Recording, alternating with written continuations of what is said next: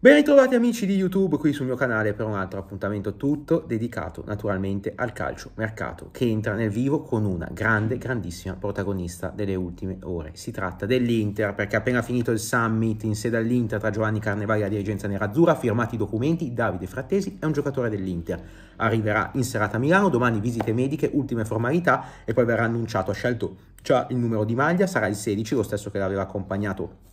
nell'ultimo biennio a Sassuolo contratto leggermente più alto del previsto, non 2 milioni e mezzo, ma 2 milioni e 8 a stagione per 5 anni, operazione complessivamente, come abbiamo raccontato ieri, da 33 milioni, contestualmente Muratti arriva al Sassuolo, contratto quinquennale per la punta ex Frosinone Spezia. E dunque Davide Frattesi è il primo grande colpo dell'Inter che segue il colpo a zero. Turam, quindi pronti via ai primi di luglio, siamo al 5, l'Inter cala già due assi sul mercato, ma c'è tanto da raccontare sull'Inter perché L'Inter non si ferma qui. Marotta e Ausilio vogliono prendere altri 5 giocatori. 5 acquisti programmati dall'Inter, ma anche 2 cessioni. Vi racconto tutto tra poco. Prima, per chi fosse capitato per la prima volta qui sul canale,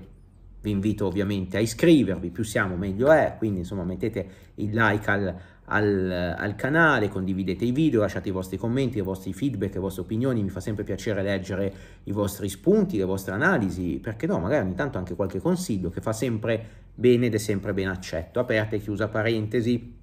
dicevo Inter programma 5 acquisti, il primo per ordine di importanza è l'attaccante, è Romero Lukaku, perché nell'idea dell'Inter Turan prende il posto di Geco. Vedremo poi cosa succederà con Correa, che può andare via, in prestito con diritto di riscatto, c'è qualcosina in Italia ma non sono club di prima fascia, qualcosina in Spagna, qualcosina in Inghilterra, lui ci ha rifiutato il Fenerbahce in Turchia, vorrebbe restare in Italia, si è appena sposato, insomma,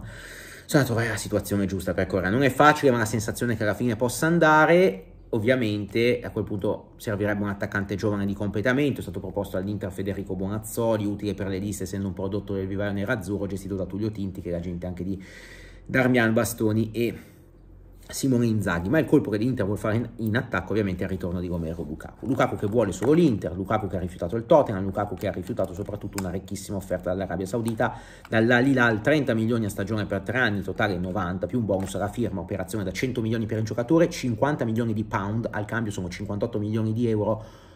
lo, eh, per il Chelsea, e però non se ne è fatto nulla, lui ha detto di no. E quindi, eh, eh e quindi lui vuole tornare all'Inter, però il Chelsea dice,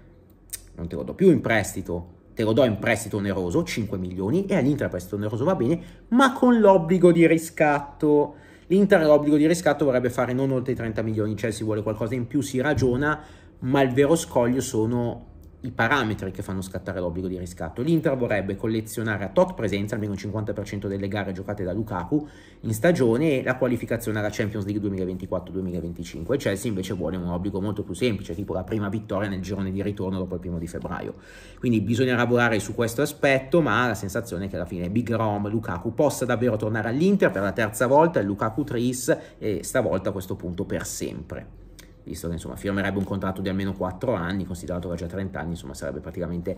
calcisticamente un matrimonio a vita, quello tra Romero, Lukaku e l'Inter e c'è ottimismo. Ma dove trova i soldi l'Inter? Eh, li trova da una cessione pesante, quella di Andrea Onana.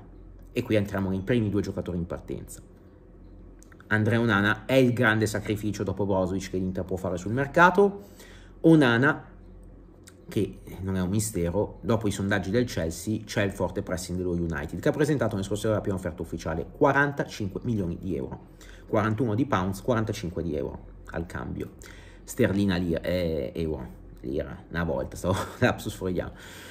Non bastano però, non bastano, l'Inter vuole 60 milioni, bonus inclusi, 50 più bonus, sotto non vuole andare, non c'è una grande distanza, la sensazione che come per Brozovic alla fine un passo da una parte, un passo dall'altro si possa trovare la quadra, anche perché Albert Botiles, l'agente di una settimana scorsa, ha fatto tutto con, con, lo United, 6 milioni netti a stagione più bonus per arrivare quasi a 8 se lo United dovesse vincere qualcosa, più del doppio dei 3 milioni più premi che Onana guadagna a Milano, quindi capirete voi che insomma diventa difficile trovare una quadra, è vero che ho avuto un'offerta anche dall'Al Nas, 10 milioni più bonus a stagione, ma Onana ha 26 anni, è al top in questo momento in Europa, è uno dei migliori portieri al mondo, non pensa ad andare in Arabia Saudita, nonostante in Arabia possa guadagnare il triplo, magari anche il quadruplo. Manchester United invece è una tentazione forte, anche perché in panchina c'è quell'Eric Ten Hag, che è vero che c'è stato un rapporto d'amore e odio, ma alla fine è il primo grande allenatore che ha dato fiducia ad Onana, ha puntato forte su di lui. C'è grande stima, Ten Hag vuole Onana e Onana è pronto a farsi sedurre dallo United, però l'Inter sconti non ne fa, anche perché poi deve prendere il sostituto. L'idea in questo momento è di prendere un portiere giovane emergente. Due nomi in quest'ordine di preferenza. Trubin, che ha già esperienza internazionale, ha già fatto la Champions League per tre anni con lo Shakhtar, tra l'altro l'Inter ne sa qualcosa perché fece due volte 0-0 con lo Shakhtar, con Trubin migliore in campo da 8 in pagella con grandi miracoli, scade nel 2024, lo Shakhtar chiede 15, l'Inter vorrebbe fare 10 più bonus o 10 più una percentuale sulla futura rivendita, ha già l'accordo col giocatore, c'è già stato un incontro positivo con il suo agente, ha caldeggiato anche Roberto Roberto De Zerbi che ha allenato allo Shakhtar al suo amico Piero Ausilio. L'alternativa è anche qui giovane, anche qui classe 2001, ma italiana, Marco Carnesecchi, consigliato da Ausilio Marotta da Riedo Braida, che l'ha valorizzato in questi due anni a Cremona, che lo conosce bene, il cartellino dell'Atalanta, 15-18 milioni la valutazione, costa un po' di più, portiere dell'Under 21, anche qui parliamo di un ragazzo comunque con grandi potenzialità e destinato a diventare un grande portiere in futuro, e l'Inter, insomma sta riflettendo, sono un po' questi i due nomi nella short list al momento per il ruolo di estremo eh, difensore. Vi dicevo due uscite, perché in uscita c'è anche Robin Gosens, Bornemouth, Wolfsburg, Union Berlino. Interessate, il giocatore sta ascoltando le proposte, l'Inter vuole 15 milioni, non sono ancora arrivate offerte ufficiali. Con la partenza di Robin Gosens l'Inter ha già individuato il sostituto, già bloccato, nel senso che ha già l'accordo col giocatore, 2 milioni a stagione per 5 anni, che è Carlos Augusto, brasiliano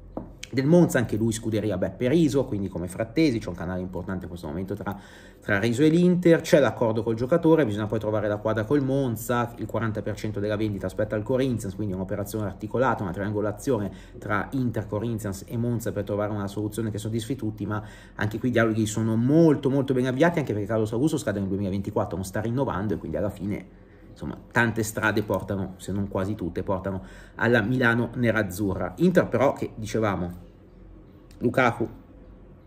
Carlos Augusto, il portiere Mani deve prendere altri due, deve prendere un sesto centrocampista centrale per completare il reparto, c'è questa idea Tuco Pereira proposto da Pastorello, non esalta i tifosi, non è una prima scelta per l'Inter, va detto, ma può essere un'occasione, come è stato per Acerbi. Pastorello è un agente tenace, perseverante, Tuco Pereira vuole tornare in un grande club, ha 32 anni, comunque un giocatore fisicamente integro, che ha fatto bene negli ultimi anni a Udine, che potrebbe dare il suo apporto di dinamicità, fosforo a centrocampo ed è un'idea che l'Inter sta valutando. Non è l'unica, ma c'è anche questa idea. E poi il difensore. Il difensore al posto di Skriniar, perché Bishek, giovane di talento, potenzialità importanti, prende il posto di D'Ambrosio. Al posto di Skriniar torna in auge Meride Miral, in rottura con Gasperini, lui e Palomino andranno via, Atalanta che ha chiuso per il terzino sinistro Bacher, 10 milioni dal Leverkusen, ha chiuso per Kolasinac a zero per la difesa, ha messo in uscita Palomino, Kolasinac prende il posto di Palomino e ha messo in uscita anche Demiral e vuole Ian del Verona come sostituto. Demiral vuole l'Inter, ha avuto offerte da club importanti turchi, li ha messi in stand-by, ha avuto qualcosina anche da altri club in Inghilterra, ma lui vuole una big, vuole l'Inter, si è promesso all'Inter, era già stato vicino a gennaio, bisogna trovare l'accordo con, con l'Atalanta, l'Inter vuole fare prestito con diritto di riscatto, l'Atalanta vuole l'obbligo. Eh, l'Atalanta vuole 15-20 milioni, Inter valuta Demiral 12-13, quindi c'è da lavorare, ma la base insomma tra il giocatore e l'Inter come accordo c'è già e da lì si ripartirà per arrivare a Dama, insomma anche con l'ausilio dell'agente Paolo Busardò che è in ottimi rapporti col club nerazzurro, insomma direi che in casa Inter di carne al fuoco ce n'è tanta, poi nei prossimi video ovviamente parleremo anche di tutte le altre big, ma oggi è veramente un Inter Day perché tra il colpo frattesi e le altre mosse l'Inter sta accelerando tanto sul mercato, in uscita ci sono alcuni giovani, Oristagno diretto in prestito al Cagliari, Pio Esposito c'è in pollo Spezia, per Sebastiano Esposito invece inizia a muoversi qualcosa e vi racconteremo tutto nei prossimi video giorni. Grazie per essere stati in mia compagnia, ci vediamo nelle prossime ore, domani, adesso non so ancora quando, per altri video di mercato, restate connessi, attivate la campanella in alto a destra per avere le notifiche in temporale su tutto ciò che va online e viene prodotto, iscrivetevi al canale, più siamo meglio è, più ci divertiamo, lasciate i vostri commenti, vi piace quest'Inter che sta nascendo o puntereste su altri calciatori? Ditemi la vostra, ciao a tutti, a domani.